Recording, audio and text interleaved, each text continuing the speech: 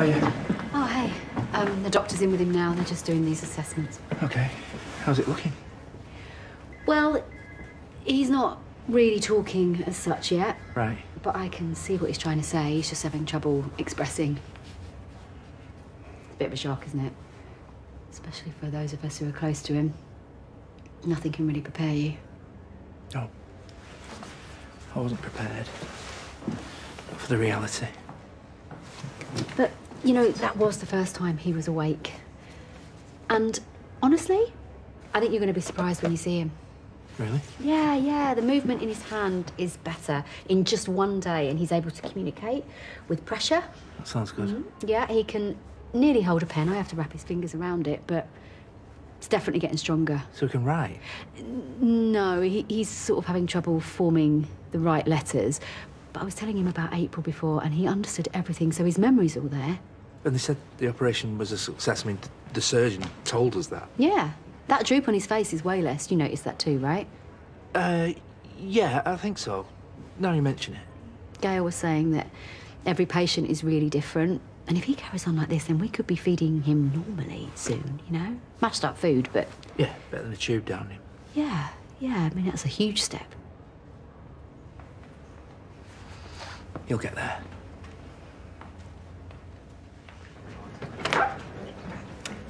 All done? For now. Oh, um, sorry, this is Paddy. I don't know if you've met before. I'm his Marlon's best friend. If it's okay, I'd like him to stay. Do you both want to sit down?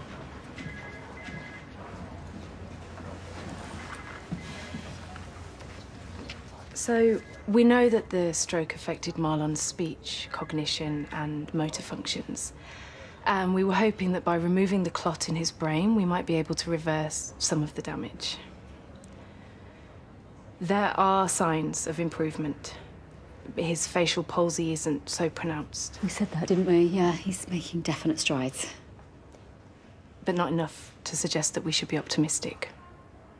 What do you mean? You have to prepare for the fact that rehabilitation will take months, not weeks.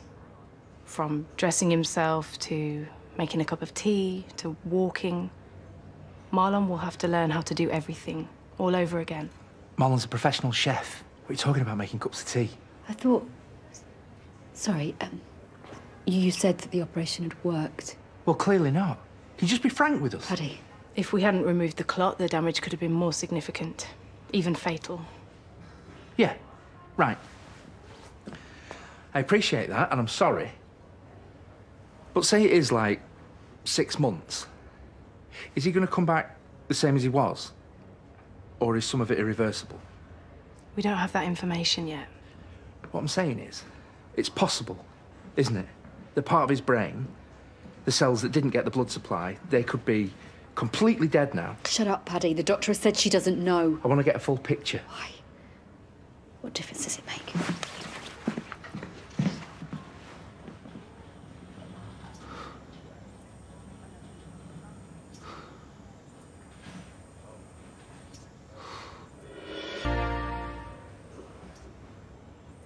How do you start to relearn it all? To walk, talk. In a way, it's good that he's still youngish. He's stronger. Be able to recover quicker. Yeah, but he's still gonna need so much care, you know, possibly forever. I work. I've got the kids. I can't. I need to go home. You going home now? Yeah, yeah, I need to pick up some stuff. I've forgotten Marlon's shaver. You'll stay with him, won't you? Yeah, take as long as you need. Be back in a bit. Last of the nuts. I'll go out the back to see if there's any more.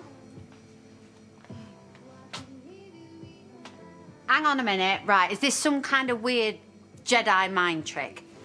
Do I look like Yoda? Well, you've got the ears. You just went into autopilot. Oh, just come on. This proves. You've been banging your feet now for far too long. You just need to get back to where you belong. Excuse me? I've already got a job. Dishing kippers up for Pollard.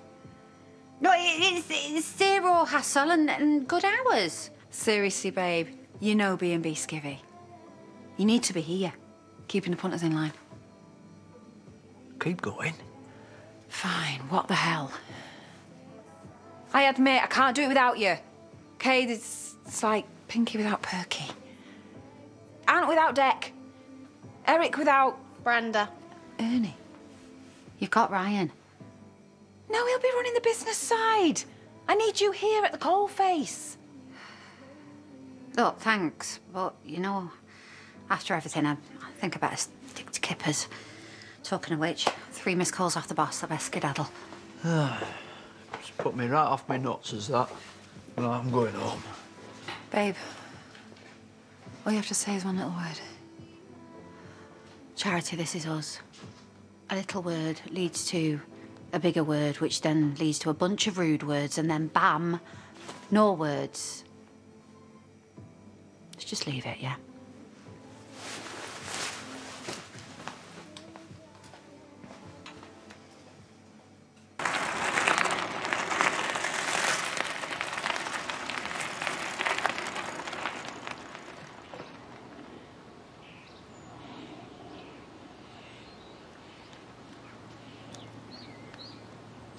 Rona? Oh, hey. Um, yeah, I'm okay. Hey, do you, do you want to come in? Um, no, I need to go back and get some things for Marlon. You not got time for a chat then? I don't know what to do, Laurel. I can't handle this. Come on, love, come on.